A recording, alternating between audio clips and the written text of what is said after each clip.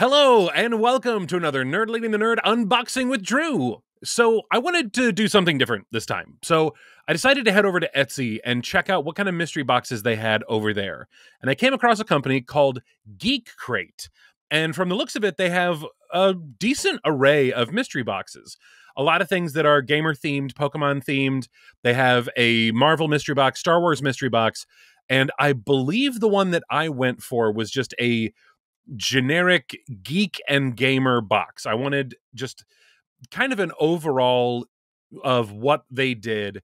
And so without any further ado, let's take a look at the box that I got. So as you may be able to see, the sticker was kind of damaged a little bit. That was uh postal service stuff.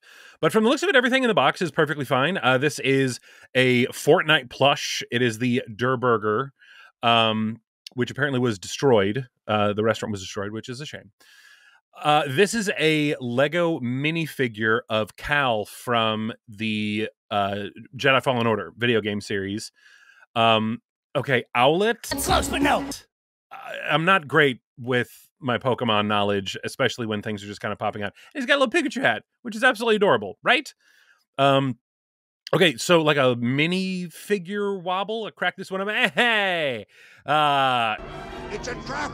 It's not a trap, but it is Admiral Ackbar. That's awesome. And apparently, when you put them down, they they wobble up, which is fantastic. Um, okay, Sarah. I don't quite remember her from the uh multiverse of madness but i've only seen that movie twice and i know that that's not great um, now I'm trying to kind of dig in to see some of the smaller stuff. Really cool Pikachu pen.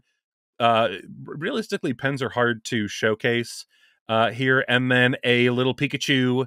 Uh, again, like just a little minifigure, you know, little tiny little vinyl figure kind of deal. I am not Dragon Ball Z uh, knowledgeable, so I will. That is Dragon Ball Z. That is all I know about that. Um, Hagrid keychain. I I identify with Hagrid. I kind of look like Hagrid. Um, but yeah, and so now we're kind of towards the bottom of the box. Uh, at this point, I'm trying to open the bag. Uh, clearly, a Star Wars canvas. It's not super big, but it's a you know decent size, perfect for going to a con and grabbing artwork and just like popping it in there, which will probably happen in the future. Speaking of artwork, uh, these were like a photo print quality, so pretty dang good. I'm not sure like where they came from. Obviously, we've got some Pokemon representation, and then we've got Dobby. Um, I love the stickers; they're super cool. And then this is me just sort of like piecing everything together.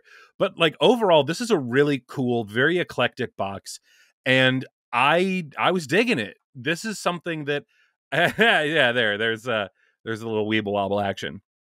So it came with a Funko Pop. It came with a lot of like really small stuff. It came with a a little plush. For the size of the box, I was not expecting to get all of this stuff in this box. So I'm definitely going to try something from Geek Crate again. When I'm kind of scrolling through their website, the boxes that they have are really cool. There's a lot of fun stuff that's included in them. And it says like 8 to 12 items on a lot of these postings from a like overall post perspective it looks like the cheapest one is going to be right around like 26 bucks and the most expensive is 44 so a pretty good bang for your buck. The other thing is and this is not super new news but unfortunately bambox will be closing their doors when it comes to the mystery box side of things. They're going to evolve into something new, which I'm not 100% sure what that's going to be. But unfortunately, there's only six boxes left. And Bambox has been my favorite mystery box when it comes to like geeky, nerdy stuff. And so I'm going to try to unbox all of those for you and kind of do a little bit of a countdown of the final six. And hopefully, there's going to be a really cool surprise in these last final boxes. I don't really know, but I'm I'm pretty bummed. Not gonna lie. I hate to end this on a sad note, but it's okay because don't worry, I will be back next week with another really fun and unique mystery box, and it's going to tie into the episode that we're doing. So stick around for that, and don't forget to check us out every Wednesday for our regularly scheduled Nerd Leading the Nerd content.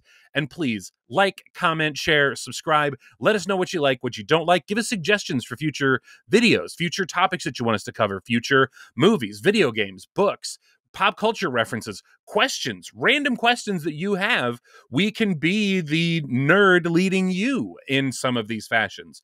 We will scour the internet if we do not have the answers to the questions that you ask, and we will come up with our best possible cumulative answer as well as maybe some ones that don't entirely make sense. So, anyway, thank you so much for coming along with me on this unboxing, and don't forget to come back soon because we'll be waiting.